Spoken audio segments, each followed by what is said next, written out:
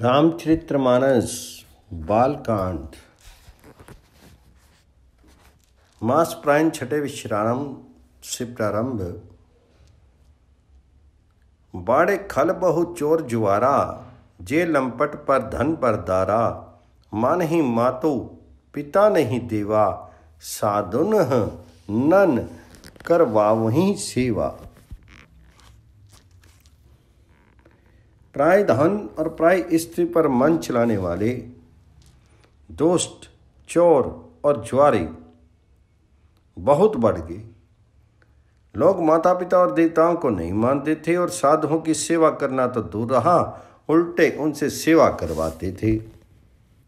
जिनके ये आचरण भवानी, ते जान ही निशीचर सब प्राणी, अतिशय देखी धर्म के गलानी परम सभीत धरा अकुलानी। श्री शिव जी कहते हैं कि हे भवानी, जिनके ऐसे आचरण हैं, उन सब प्राणियों को राक्षस के ही समझना चाहिए। इस प्रकार धर्म के प्रति लोगों को अतिशय गलानी, अरुचि अनास्था देख करके प्रभु अत्यंत भयभीत एवं व्याकुल हो गई। गिरी सेरी, सिंधु भार नहीं, मोही, जस मोही गरुआ एक पर द्रोही, सकल धर्म देखी विपरीता, कहीं न सकी रावण भय भीता। मैं सोचने लगी कि परतों नदियों और समुद्रों का बोझ मुझे इतना भारी नहीं जान पड़ता जितना भारी मुझे एक पर द्रोही, दूसरे का अनिष्ट करने वाला लगता है।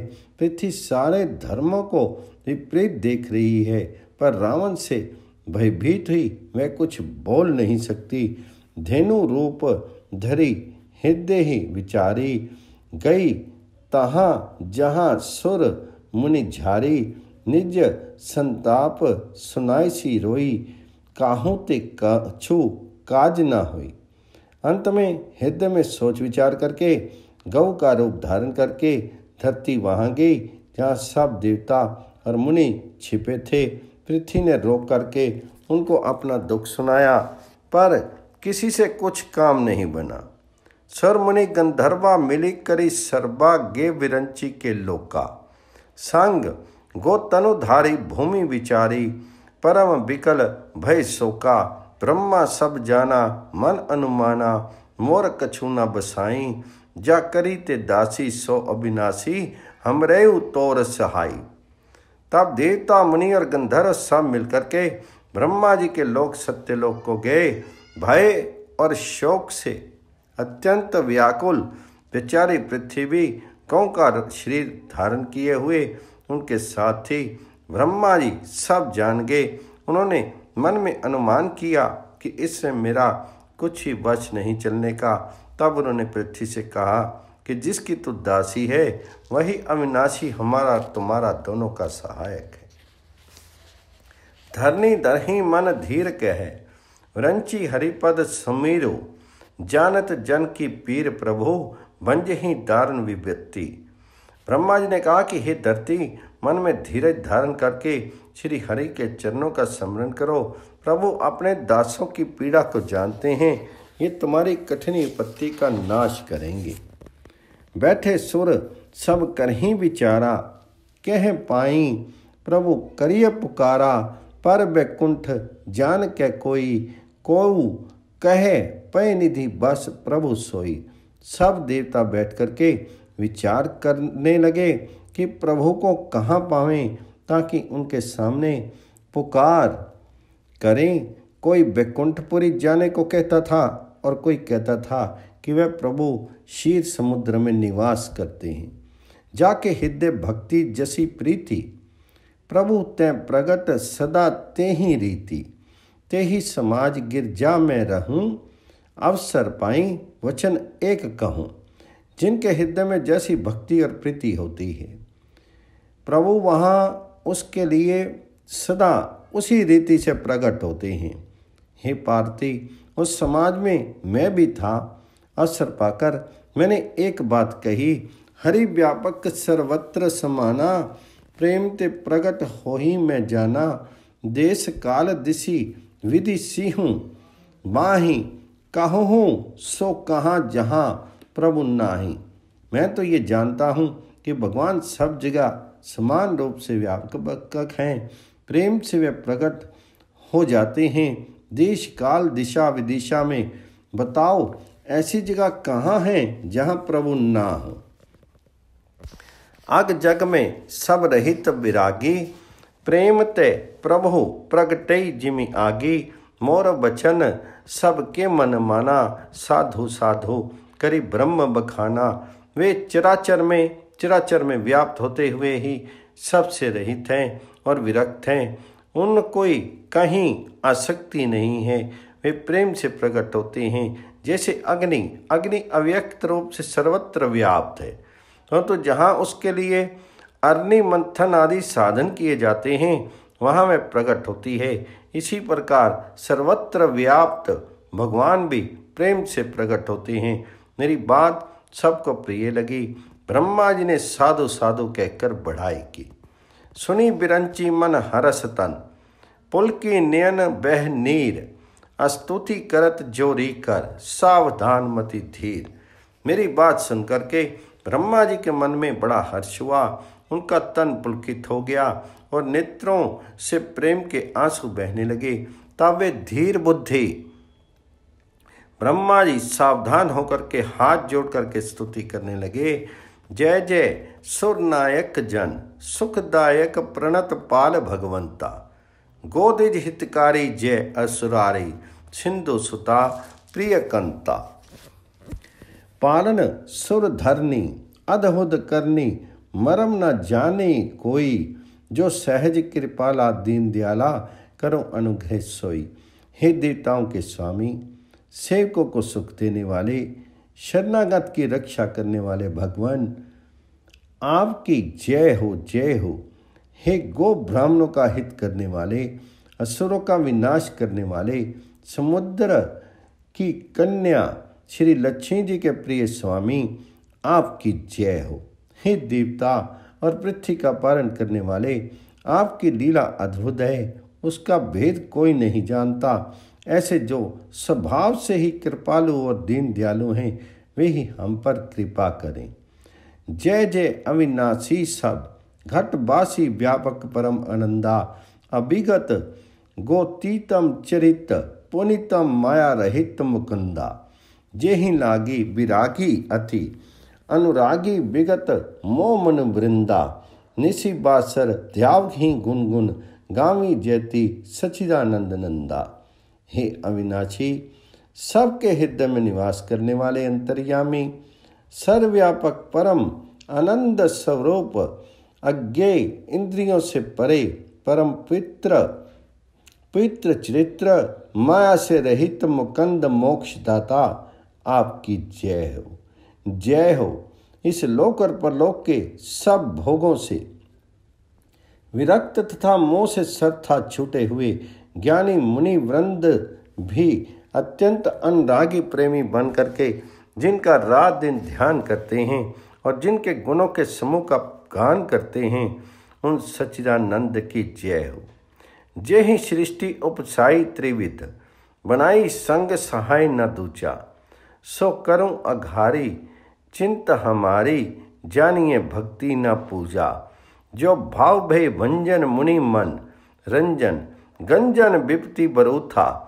मन बच क्रम, वाणी छाड़ी सियानी, शरण सकल सुरजू था जिन्होंने बिना किसी दूसरे संगी अथवा सहायता के अकेले ही, या स्वयं अपने को त्रिगुण रूप ब्रह्मा, विष्णु, शिव रूप बना करके अथवा बिना किसी उपादान कारण के अर्थात स्वयं सृष्टि का अभिन्न निमत उत्पादान कारण बन करके तीन प्रकार की सृष्टि उत्पन्न की, वे पापों का नाश करने वाले भगवान हमारे सुधी ने। हम ना भक्ति जानते हैं, न पूजा। जो संसार के जन्म मृत्यु के भय का नाश करने वाले, मुनियों के मन को आनंद देने वाले और विपत्तियों के समूह को नष्ट करने वाले हैं। हम सब देवताओं के समूह, मन, वचन और कर्म से चित्राई करने की बात छोड़ करके भगवान जी की शरण आए हैं। शारद श्रुति शेषा, ऋष अशेषा, जा कहूँ कोई नहीं जाना। जेहि दीन प्यारे, वेद पुकारे, द्रवाऊं सो श्री भगवाना। भाव बारिधि मंदर सब। विधि सुंदर, गुण मंदर सुख पुंजा। मुनि सिद्ध, सकल सुर परम भय आतुर। नमत नाथ पद कंजा। सरस्ती वेद शेषजी और संपूर्ण ऋषि, कोई भी जिसको नहीं जानते, जिन्हें दीन प्रिय हैं, ऐसा वेद पुकार करके कहते हैं, वे ही श्री भगवान हम पर दया करें। हे संसार रूपी समुद्र के मथने के लिए मंद्राचल रूप सब प्रकार से सुंदर, गुणों के धाम और सुखों की राशि नाथ, आपके चरण कमलों में मुनि, सिद्ध और सारे देवता भय से अत्यंत व्याकुल होकर के नमस्कार करते हैं। जानी सभे सुर भूमि सुनी, बचन समेत सने, गगन गिरा गंभीर भई हरनी शोक संधे। देवता और पृथ्वी को भयभीत जान करके और उनके स्नेह युक्त वचन सुन करके शोकर संदेह को हरने वाली गंभीर आकाशवाणी हुई, जनी डर पाहू मुनि सिद्ध सुरेशा, तुम ही लागी धरी हूँ नर बेसा अनसन्न सहित मनुज अवतारा, ले हूँ दिन कर वंश उदारा। हे मुनि सिद्ध और देवताओं के स्वामियों डरो मत। तुम्हारे लिए मैं मनुष्य का रूप धारण करूँगा और उदार पवित्र सूर्य वंश में अंशों सहित मनुष्य का अवतार लूँगा। कश्यप पदीति महातप कीना। तीना कहूँ मैं पूर्व बर दीना ते दशरथ कौशल्या रूपा, कौशलपुरी प्रकट नर भूपा। कश्यप और अदिति ने बड़ा भारी तप किया था। मैं पहले ही उनको वर दे चुका हूँ। वे ही दशरथ और कौशल्या के रूप में मनुष्यों के राजा होकर के श्री अयोध्यापुरी में प्रकट हुए हैं। तिन के ग्रह अब तर ही जाई। रघुकुल, तिलक, सोचरियों भाई, नारद बचन, सत्य सब करी हूँ परम शक्ति समेत अवतरी हूँ उन्हीं के घर जाकर मैं रघुकुल में श्रेष्ठ चार भाइयों के रूप में अवतार लूँगा। नारद के सब वचन में सत्य करूँगा और अपनी पराशक्ति के सहित अवतार लूँगा। हरि हऊ सकल भूमि गरु आई निर्भे हो देव समुदायी, गगन ब्रह्म बाणी सुनी काना, तुरंत फिरे सुर हृदय जुड़ाना। मैं पृथ्वी का सब बार हर लूँगा। हे देवरन, तुम निर्भय हो जाओ। आकाश में ब्रह्म भगवान जी की वाणी को कान से सुन करके देवता तुरंत लौट के उनका हृदय शीतल हो गया।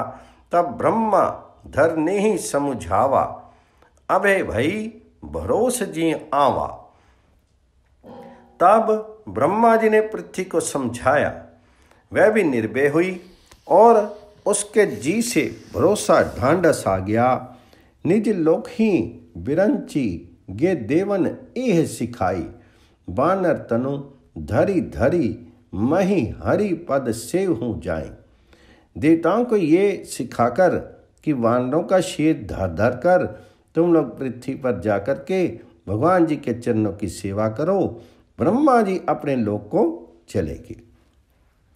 गए देव सब निज निज धामा, भूमि सहित मन कहूँ विभ्रामा विश्रामा, जो कछु आयसु ब्रह्मा दीना हर से देव विलंब न कीना, सब देवता अपने अपने लोक को गए पृथ्वी सहित सबके मन को शांति मिली।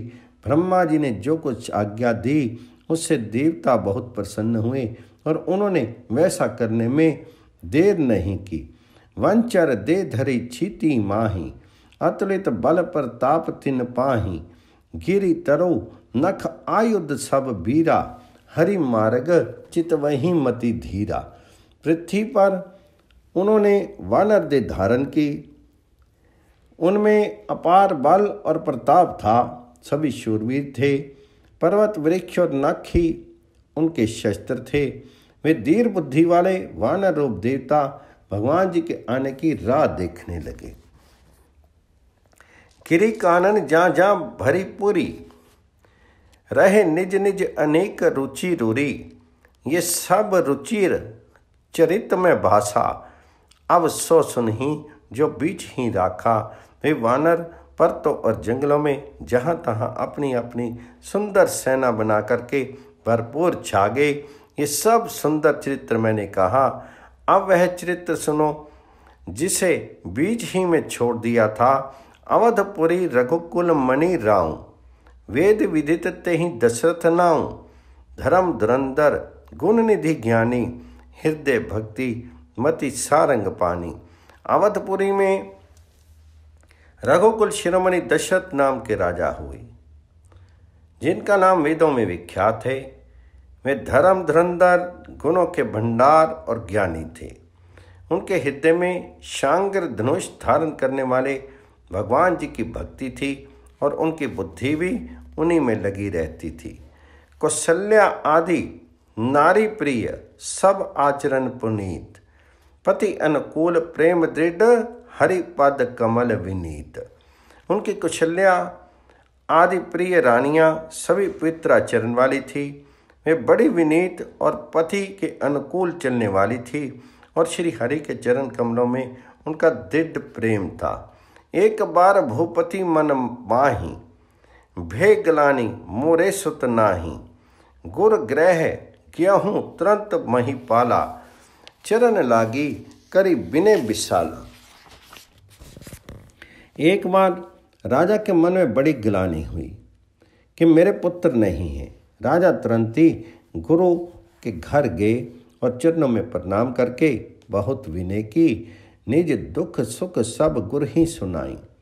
कहीं विशिष्ट बहुविधि समुझाई। धरो धीर होई हही सुतचारी त्रिभुवन विदित भगत बेहारी। राजा ने अपना सारा दुख सुख गुरु को सुनाया। गुरु वशिष्ठ ने उन्हें बहुत प्रकार से समझाया और कहा, धीरज धरो, तुम्हारे चार पुत्र होंगे जो तीनों लोकों में प्रसिद्ध और भक्तों के भय को हरने वाले होंगे। श्रृंगी ऋषि, वशिष्ठ बुलावा, पुत्र काम, शुभ यज्ञ करावा, भक्ति सहित मुनि आहुति दीनी, प्रगटे अग्नि, चरु कर लीनी। वशिष्ठ ने श्रृंगी ऋषि को बुलवाया और उनसे शुभ पुत्र कामेष्टि यज्ञ कराया। मुनि के भक्ति सहित आहुतियाँ देने पर अग्निदेव हाथ में चरु, हविष्य अन्न खीर लिए प्रकट हुए। जो विशिष्ट कह हृदय विचारा, सकल काजू भा सिद्ध तुम्हारा। ये हबी बाटी देहु नृप जाई जथा जोग जेहि भाग बनाई और दशरथ से बोले, वशिष्ठ ने हृदय में जो कुछ विचारा था, तुम्हारा वह सब काम सिद्ध हो गया। हे राजन, अब तुम जाकर के इस हविष्यन पायस को, जिसको जैसा उचित हो वैसा भाग बनाकर बांट दो। तब अदृश्य भय पावक सकल सभी समुझाई। परम आनंद मग्न नृप हरसना हृदय समाई। तदंतर अग्निदेव सारी सभा को समझा करके अंतर ध्यान हो राजा परम आनंद में मग्न हो उनके हृदय में हर्ष समाता नहीं था। तब ही राय प्रिय नारी बुलाई, कौशल्या आदि तहाँ, चली आई। अर्धभाग कौशल्या आदि दीना वे भाग आधे कर कीना। उसी समय राजा ने अपनी प्यारी पत्नियों को बुलाया। कौशल्या आदि सब रानियाँ वहाँ चली आई। राजा ने पायस का आधा भाग कौशल्या को दिया और शेष आधे के दो भाग किए। के कऊ कहे, नृप सो दियो, रहियो सो, उभे भाग पुनि भयसु कौशल्या के कई हाथ धरी, दिन ही सुमित्र ही मन प्रसन्न करी। वह उनमें से एक भाग राजा ने ककई को दिया, शेष जो बच रहा, उसके फिर दो भाग हुए और राजा ने उनको कुशल्या और ककई के हाथ पर रख करके, अर्थात उनकी अनुमति लेकर के और इस प्रकार उनका मन प्रसन्न करके सुमित्रा को दिया। यही विधि गर्भ सहित सब नारी भई हृदय हर्षित सुख भारी जा दिन ते हरि गर्भी आए, सकल लोक सुख संपत्ति छाए। इस प्रकार सब स्त्रियाँ गर्भवती हुई। वे हृदय में बहुत हर्षित हुई। उन्हें बड़ा सुख मिला। जिस दिन से श्री हरि लीला से ही गर्भ में आए, तब लोगों में सुख और संपत्ति छा गई। मंदिर में सब राज ही रानी, शोभाशील, तेज की खानी, सुख, जुत, कछुक, काल चली गयूं जे ही प्रभु प्रगट, सो अवसर भ्यों शोभाशील और तेज की खान, बनी हुई सब रानियाँ, महल में शोभित हुई। इस प्रकार कुछ समय सुखपूर्वक बीता और वह अवसर आ गया जिसमें प्रभु को प्रकट होना था। जोग लगन ग्रह बार तिथि, सकल भय अनुकूल, चरु अरु अचर हर्ष जुत, राम जन्म सुख मूल।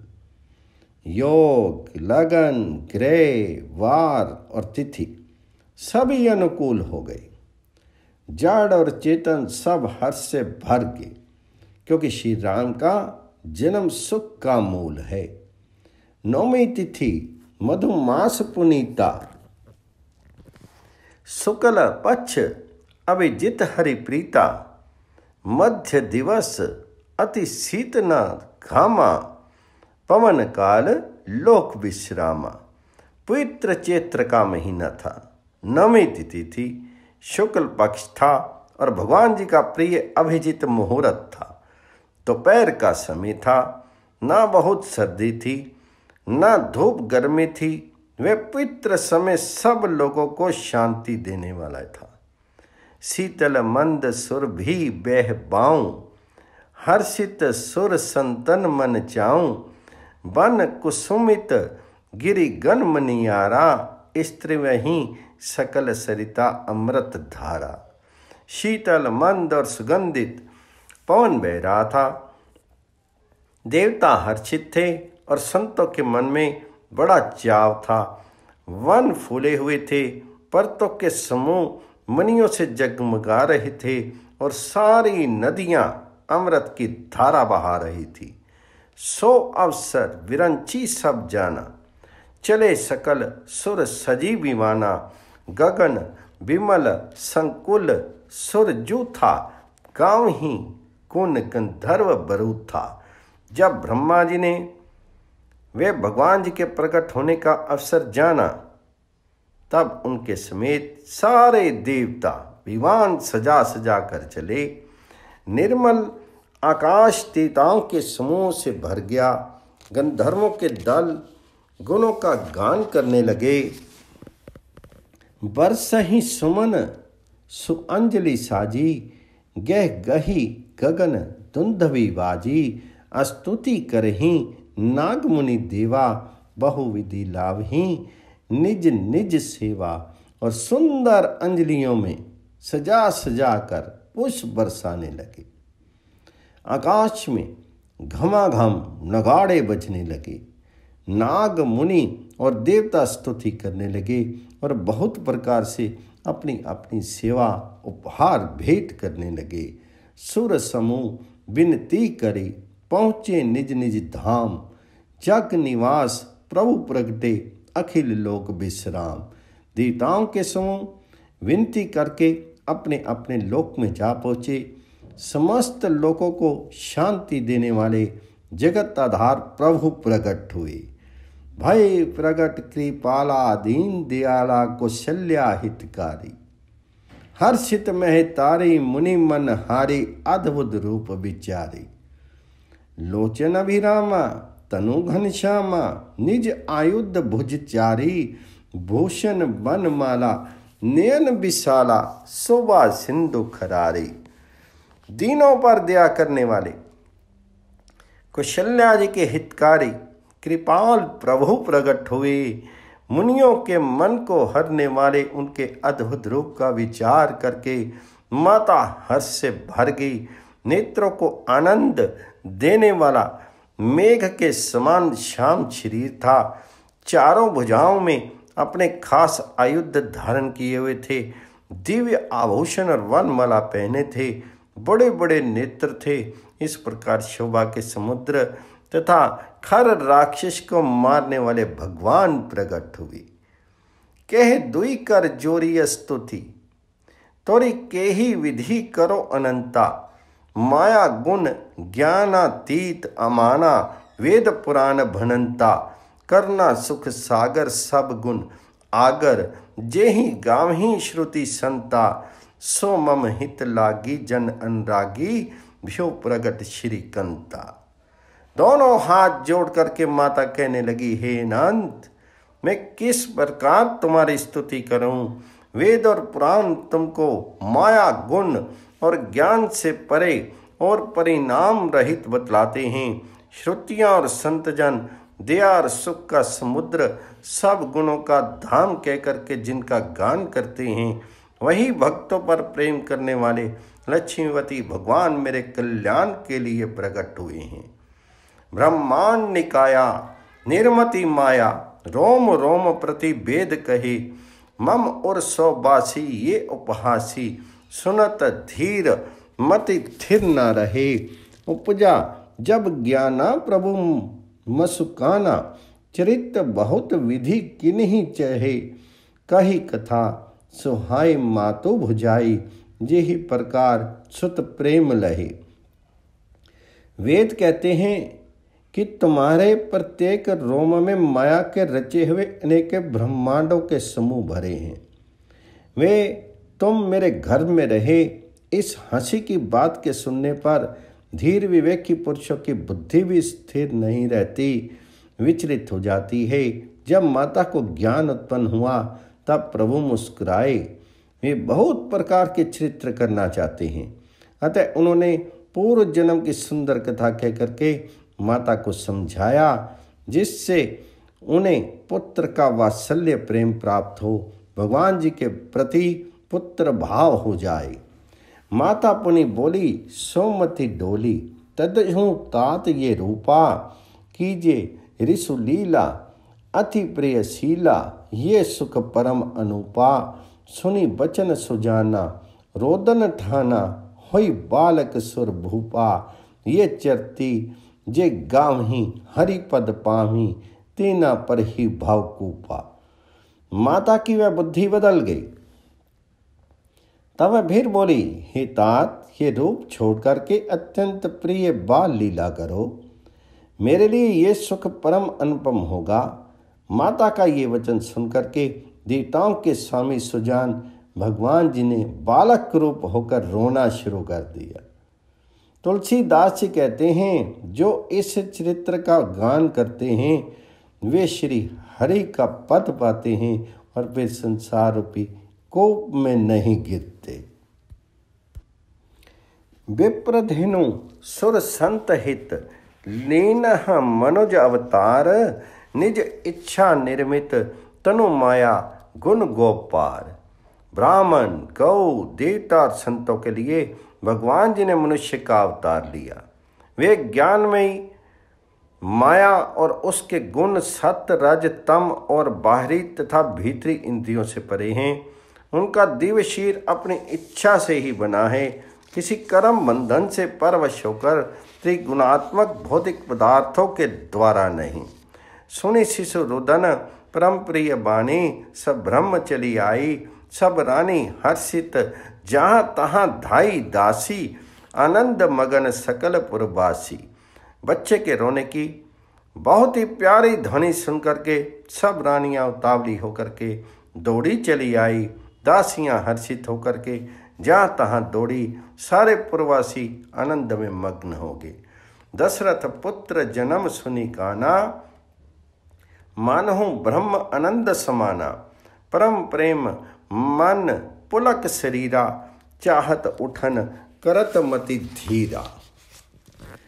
राजा दशरथ जी पुत्र का जन्म कानों से सुन करके मन ब्रह्म आनंद में समा गए। मन में अतिशय प्रेम है, शेर पुलकित हो गया।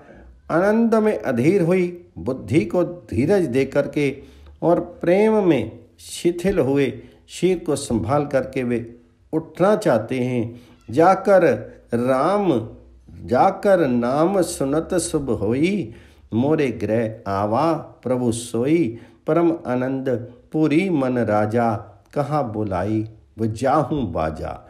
जिनका नाम सुनने से ही कल्याण होता है, वहीं प्रभु मेरे घर आए हैं। ये सोच करके राजा का मन परम आनंद से पूर्ण हो गया। उन्होंने बाजे वालों को बुला करके कहा कि बाजा बजाओ।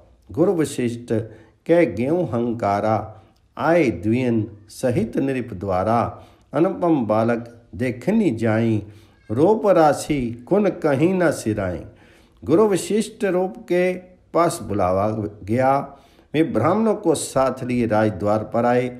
उन्होंने जा करके अनुपम बालक को देखा जो रूप की राशि है और जिनके गुण कहनों से समाप्त नहीं होते।